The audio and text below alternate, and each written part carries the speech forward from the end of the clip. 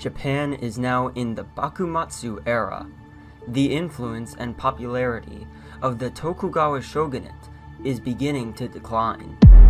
Several institutes for studying Western technology were opened across Japan, and Western culture was becoming quite popular in the shogunate's capital, Edo.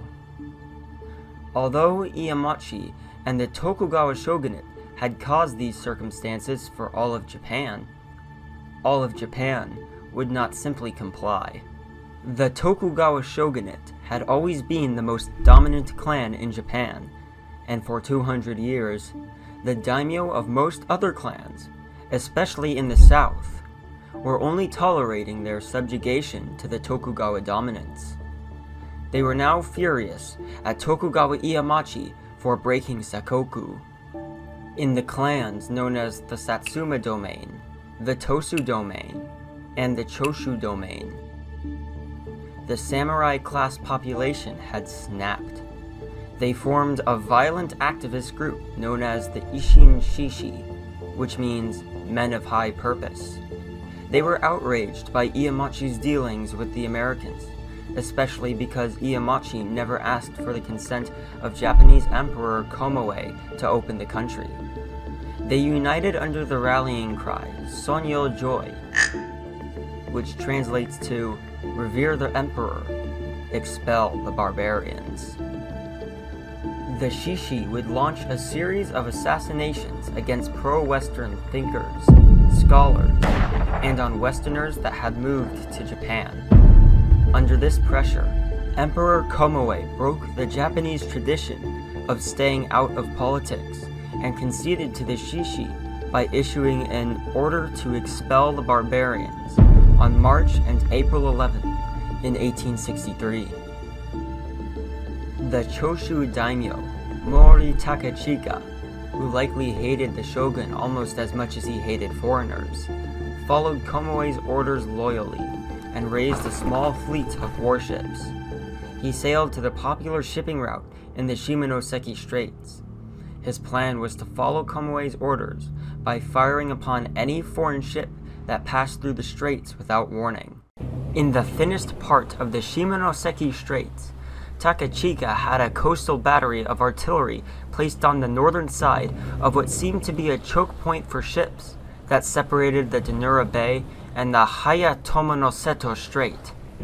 Further up the coast were fortified cannons on slightly higher ground, known as the Maeda Daiba Battery. The third battery of artillery was placed all the way atop the mountain Hinoyama. There was a fourth battery, which was likely on the other side of the straits in the Castle Moji. Along the coastal gunnery, Takachika boasted a small but formidable fleet of one bark class warship, one steam powered warship, and one brig, all of which would continuously have been watching the straits for foreigners. The first to respond to the situation was the Dutch government, who sent a 16 gun warship, the HNLMS Medusa, to the Straits on July 11th to find out just what exactly was going on. The Dutch expected the situation to be peaceful, considering the especially good relations between Japan and the Netherlands. But things immediately turned sideways when the Medusa entered the straits as the ship was met with an immediate attack from the shogun's fleet and coastal cannons. The Medusa was hit with 30 shells by the Choshu forces. She returned fire upon the Choshu ships, but there was no hiding the danger the Dutch were in. They soon turned the other direction and fled the straits at full speed. Around nine Dutch sailors were killed or wounded. The word was spreading to the west of what Takachika and the Choshu were doing. On July 14th at 4:45 a.m., the U.S. Navy dispatch, consisting of the steam-powered sloop USS Wyoming under the command of Commodore McDougal, was sent out to put Takachika back in his place. After a two-day voyage, McDougal and the Wyoming entered the straits from the south, anticipating a fight. The battle started at 10:45 a.m. with three shots from the coastal battery as a signal to the rest of the Choshu ships and batteries that the Americans had arrived.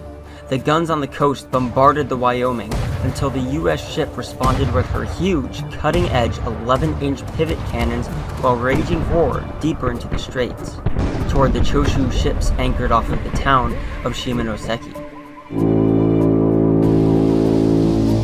The Wyoming plunged itself into the face of the Choshu Navy, passing between the bark and the brig on her starboard side and the steamer on her left. The ships were more than danger close within range of pistol shot of each other.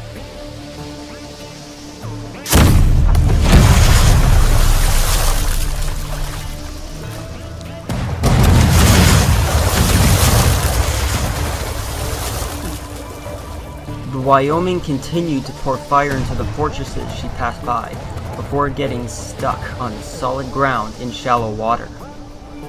The Choshu steamer took this opportunity to set a course to ram the Wyoming. The Wyoming fired at the oncoming steamer, landing two shells in her boiler, engulfing her in a roaring explosion.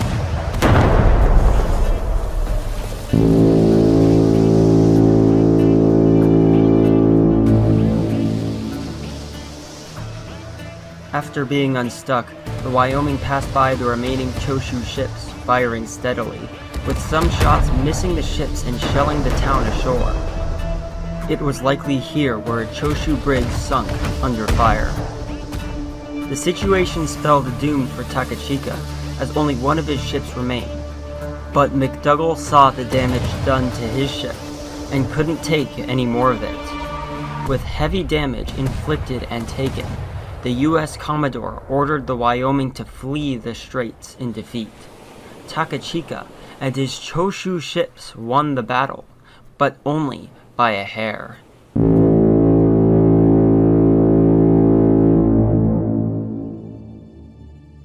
Four U.S. Marines and sailors were killed, with seven wounded, while the Choshu lost 40 lives that day. The two sunken ships were later salvaged and repaired back into service. In July, the Shimonoseki Straits were bombarded once again by a French ship. This marked the beginning of a series of European bombardments on the Choshu known as the Shimonoseki Campaign.